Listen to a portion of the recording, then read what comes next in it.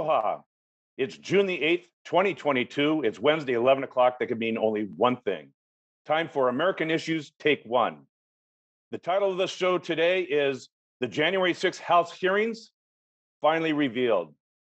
In uh, Thursday by one o'clock uh, Hawaii time or thereabout, one o'clock, we are probably going to see some fairly trauma- dramatic uh, findings that the House Select Committee will report on. Uh, probably the biggest information and news that we will see about the what happened to the Capitol, the attack on the Capitol, who was behind the attack on the Capitol. And we will see this information roll out, and that'll be as big as it was, or probably bigger than the Watergate hearings that took place back in 1973. And with me to discuss this uh, pending hearing is our good friend Chuck Crumpton, mediator. Chuck, welcome. Thanks, Tim. Always a pleasure. You know, it's not always easy to discuss something that hasn't happened. so, but here we are today doing exactly that.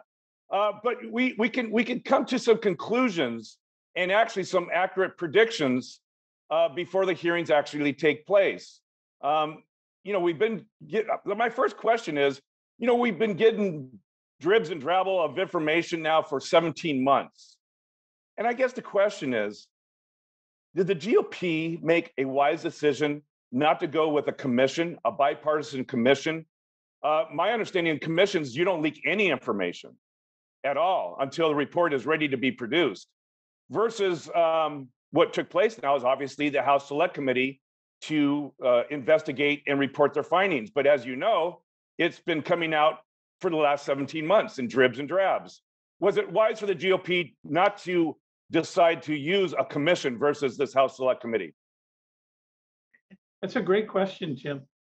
And I think I step back from the question to say, was it really a decision or was it just a continued strategy?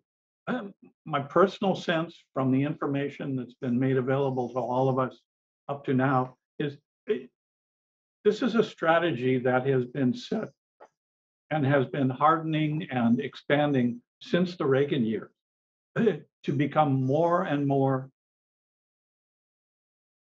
divisive, less concerned for bipartisan, balanced, fact finding, problem solving approaches, and to move away from dialogue to combative monologues. So whether it's the Republican Party, Mitch McConnell, McCarthy, funny he should have that name, huh? Yeah, funny. Or, or, or Fox, which doesn't deserve a second syllable. It's just Fox. It's Um, just Fox. Good point. You're right. The French spell it more correctly, which is F A U X. Meaning fugazi false. in Italian.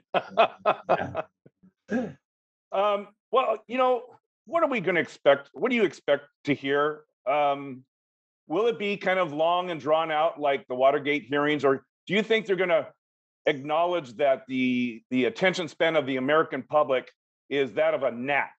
And so, are we going to see a an explosion of information that maybe we are not aware of or have not heard of yet, and have that all laid out on the first day, or maybe the day one and day two of the hearings? Or uh, what do you expect will be forthcoming uh, when these hearings begin?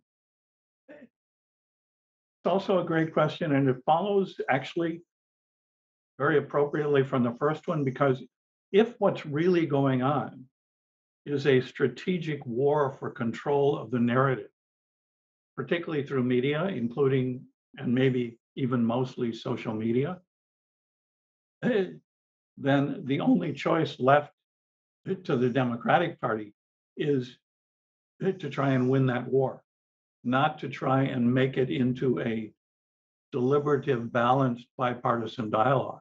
That's not going to happen.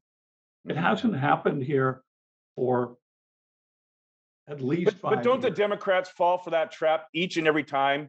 The the the GOP waves the the banner of bipartisanship and cooperation, and and naively the Democrats go, "Oh, okay, great idea. We like to do that." And then every time it's it's Lucy pulling the football out from Charlie Brown just before he, he boots it. I think where that question points, it. It was an editorial more than a question, but no, but it's, it, it, it's very focused. If you look at the tone, the tenor, the spirit eh, behind the way that the GOP conducts its strategic war for control of the narrative, eh, as contrasted with the traditional Democratic presentation approach. I think rather than saying one's right, one's stronger, it, the difference in styles reflects what each one thinks is going to work best for it. And it's got to be disappointing to people who were traditionally highly respected conservatives, Eisenhower Republicans, or, or even people after that. Um, I don't think anybody could point to situations where Bob Dole, as strong and aggressive a Republican as he was, ever resorted to the kinds of tactics that we're seeing now. And so one of the questions for the Democrats is, okay, do you lower yourself to that level and try and win that war in the muck, whether it's quagmire or quicksand or whatever? Or do you try and take a high road? And unfortunately, eh, there there seem to be elements of both. Yeah, there there are those who would argue, and I probably would include myself as one of them, that probably the most um, naive statement was um, when when Michelle Obama stated, "When they go low, we go high," because you're not going to win by going high every time with the Republicans. You just don't win. Um, and if you want to win, then perhaps you need to eat, meet them somewhere on an equal plane and equal field of battle. Uh, you know, Well, we talked me just. Go ahead. Just before we move past that, because uh, that's a really important insight, Tim. And so the question is, if you're going to go high, who is your target audience? If your target audience is, for lack of a better word, the undecided, the independents, the people who are not rigidly right wing or progressive left wing, but those who may be still making decisions, still weighing information. If that's your target, then going high takes on a much different tone than if you're doing the Bernie Sanders thing and going for the farther left progressive wing of the Democratic Party. And when you think about it, if that's the margin that they need for swing states, for prevention of Republican control of not only offices, but of election processes themselves and the people who run those election processes. Then you have to balance and fit your going high to the values of the people in that undecided group. And follow that, up with I that. think, Yeah. Neither party's done that. It's more important for the Democrats to do it because that's the only group they're going to get. They're not going to change the minds of the Fox followers. They're not going to change the minds of people like McConnell or McCarthy or others. you know there there are a lot of and my friends are are, are many of them. I, I, my friends are are are gop conservatives and i will say that they supported trump in past elections. Uh, yet they do value um, the ideals of our democracy and our free and fair elections. Uh, they do value the rule of law. And my i guess my question is I wonder if they're going to pay attention to these select hearing committee meetings that's going to air shortly on Thursday. And, you know, um, they hired a, a news media uh, individual that's going to shape how this how these hearings are presented. I guess the question is, who do you think the audience is and how they're going to craft the message uh, for these hearings on Thursday, starting Thursday? Such a gr- great question. For those who are sports fans, let's take NFL football as an example, or even college.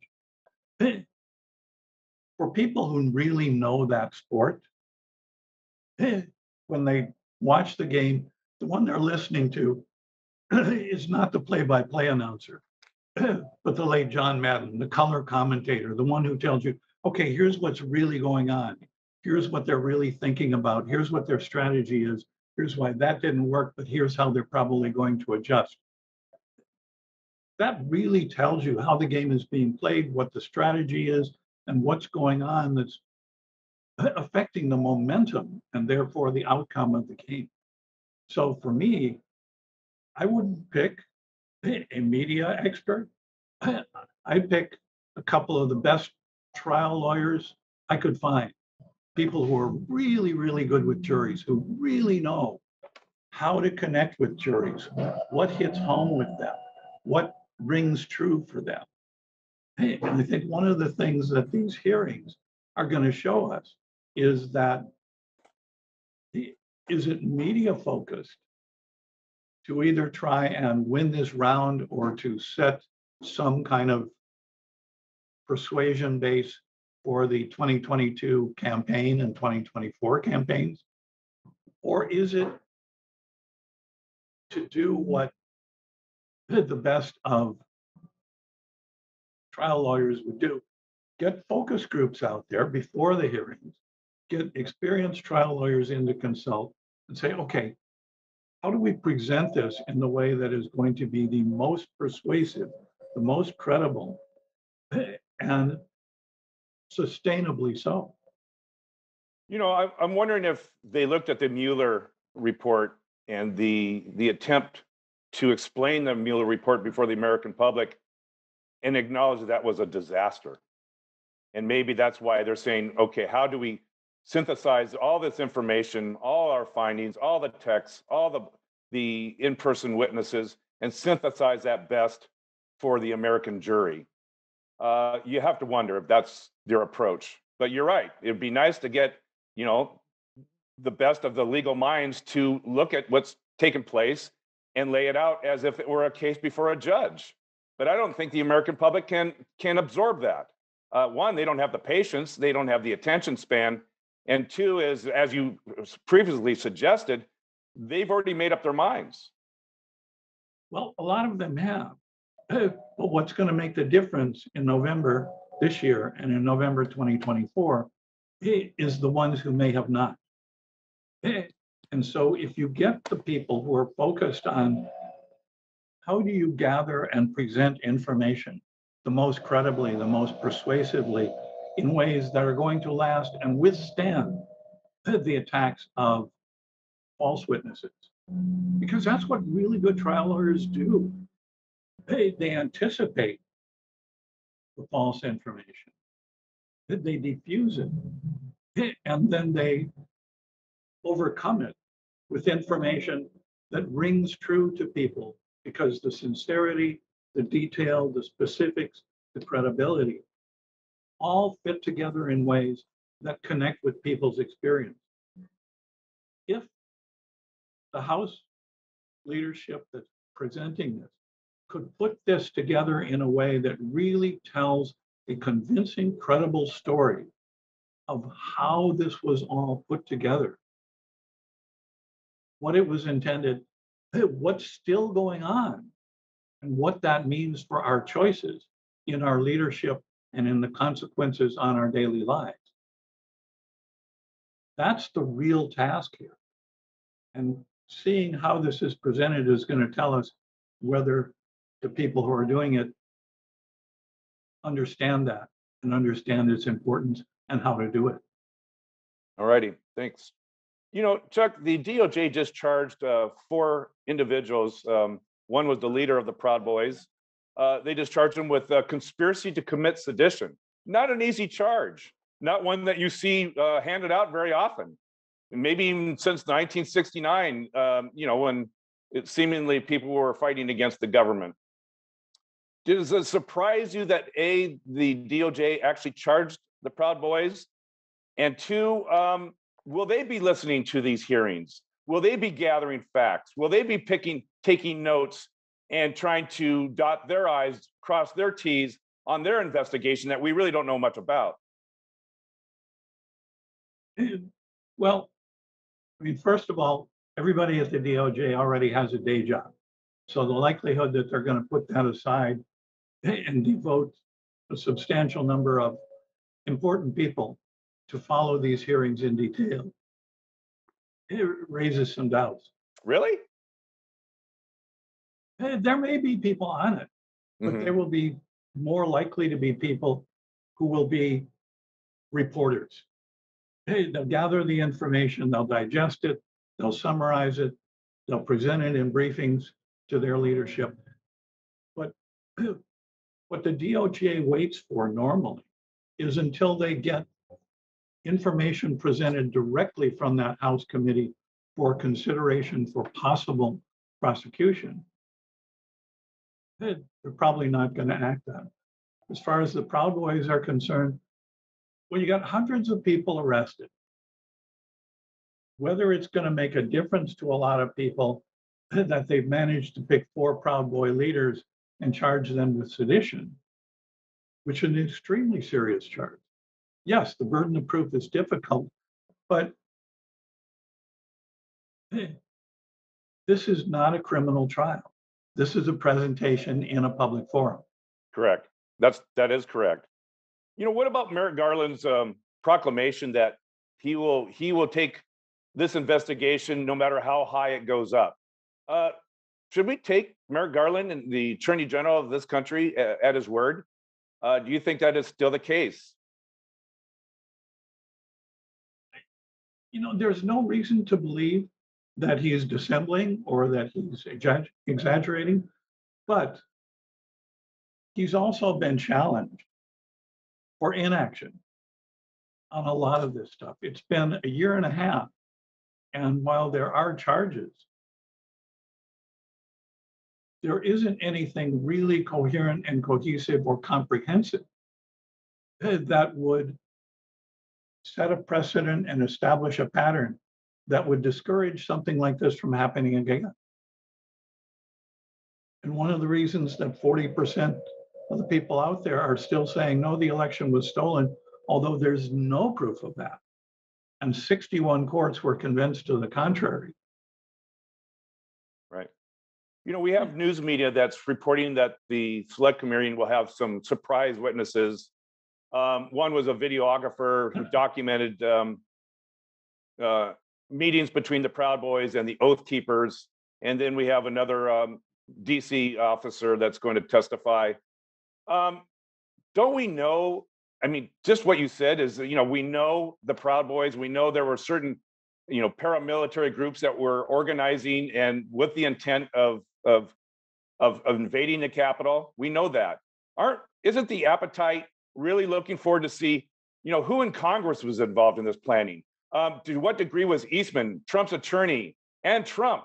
Um, to what degree were they involved with direct planning and direction of the January 6th Capitol invasion? Isn't that the appetite that really we're looking for, uh, or many Americans are looking for, versus the the expected um, finger pointing at the Proud Boys and and groups like that? That's a great point, and that is the crux of the matter. Can they connect these splinter groups, as violent and as far right as they are, to acting with and for, with the expectation of support from the leadership of an entire political party? You know, um, the question also in my mind is to what degree during the hearings will Fox and Friends, uh, I won't even call it Fox News anymore. I just can't. Um, Fox editorial, Fox Entertainment, to what degree are they going to try to distract uh, their viewership away from this hearings? Uh, we know they're not going to broadcast it, which is, I think, uh, incredible that something of this magnitude and importance is not going to be broadcasted. to what degree or what strategies do you think they may employ employ to um, as a form of distraction? Same one they've always employed. If you're combating for control of the narrative, you're going to present anything that will attract attention of your base a- and get enough coverage in the media to also get out into the public arena. You don't have to win that control of the narrative. You just have to not lose it. Do you think it's incumbent upon the Democrats to point out that glaring fact that um, there is a an effort to distract and omit the the the importance of the hearings? Do you think Democrats have failed yet once again not to point that out in glaring terms? I think that's a really good point because if you've got a lawyer on cross-examination, he's going to take a witness and he's going to ask them questions. What about this? What about this counter argument? What about this counter information? And let the witness provide information that's going to dispel and discredit those false claims. So, yeah, if you're going to be effective in an information pres- presentation, if you're going to tell a story to try and gain credibility and persuasiveness, you have to also rebut the information that is presented. But you do it by truthful information presentation that comes together so well and so convincingly that the claims to the contrary just don't fly with intelligent people. You can't try to convince the people who are not going to change their minds, whether that's 40%, give or take, or more or less. Forget that focus on that 10, 15, 20% that may actually still be taking in information, that still may be weighing information, that still may be forming opinions and decisions about what That- That's a good point. You know, I, and I know attorneys know this, and I know the, those who write speeches for public address, they know that it's so much harder to try to persuade someone away from a belief versus a value or an, or an attitude. You can shape an attitude, you can shape a value, but beliefs, once they're set in concrete, uh, good luck. And I think our our politics now have really entered into the realm of beliefs versus, um, you know, the politics of, of values or attitudes. Well, that's an important point, Tim, because if you look at the Republican talking points and strategy what's most absent from those is the values on which this country was founded and which have so far enabled it to move in very halting steps forward and backward to and from democracy. Not to it, but at least in many ways in that direction. And they're moving very, very concertedly away from it toward a minority control, away Well, from I- popular control. Yeah, I mean, excellent point, Chuck. And I think to further point that out is, you know, look at the 2020 um, GOP platform. There wasn't one. Look at what Mitch McConnell said about the 2024. There won't be one. I mean, so if you don't need a platform, all you need to do is have faith and belief in Donald Trump, and that's good enough. I mean, it's it's a really amazing how we've we've uh, come down to this point in our politics that policies be damned, they're not important. Only the personality that's leading the, their party is the important aspect. You know, Tim, that points towards something that hasn't been picked up by media or pretty much anyone. And that is what's missing from this picture is a truly charismatic leader of conscience and character. We have not had one for quite some time. And until such a person or group appears on the scene, this battle can be fought at that very low, divisive, destructive level. Well, we haven't seen a charismatic leader like Donald Trump in in decades, uh, maybe since FDR or, or or John Kennedy, but certainly he uses his skill set and his rhetoric and I'll say propaganda, um, not for the best purposes of this nation. Um, you know, for the the slow erosion of democracy into autocracy. And that's the soul of which we're fighting for. And, and maybe that's the importance of these hearings is to put a, a spotlight on that which is a, a fundamental building block of our government and the principles of our government, a free and fair election. So let me, um, uh, again, I pontificate a bit. So let me get, let me get to, um, do you expect anything new or earth shattering, you know, a Perry Mason moment to occur on the first day of the hearings? I think what we're looking at on the first day is how are they going to approach this? Who do they really see as their audience? Who are they trying to reach? Who are they trying to convince and persuade? If that is independents, people whose decisions have not yet been made, that's a very different kind of presentation. That's a trial lawyer's presentation. Mhm. And if it is a trial lawyer's presentation, will it captivate, captivate the attention and the interest of the American public?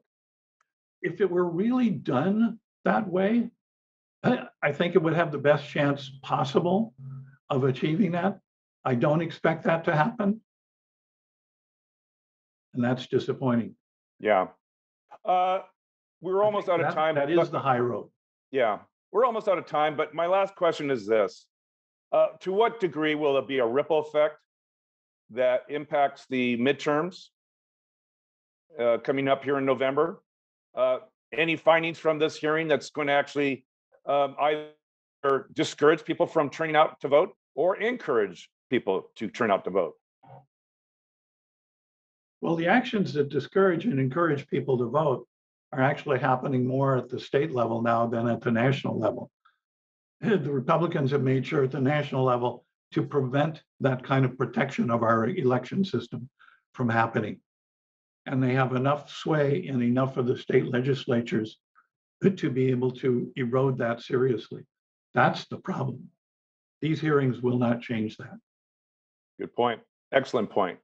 Uh, Chuck, um, I want to thank you for, for being a guest on this show. I'd like to ask you for your last thought or comment uh, about the hearing and let it fly. I would love to see these hearings identify people of character, conscience, and courage who resisted the attempt to undermine and overthrow our electoral process, the choice of the people. If those stories can be told, there may be some room for thought. All righty. Thank you very much, Chuck.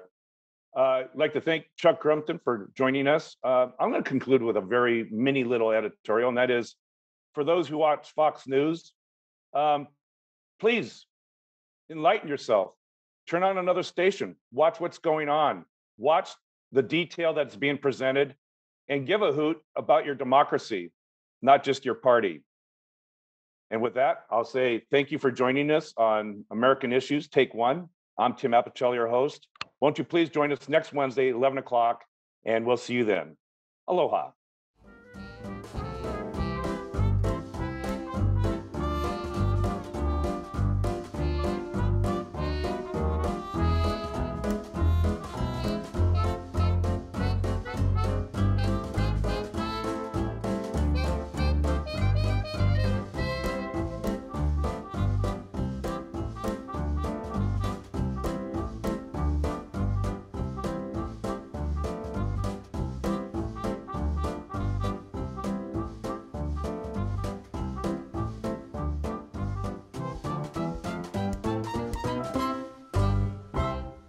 Thank you so much for watching Think Tech Hawaii.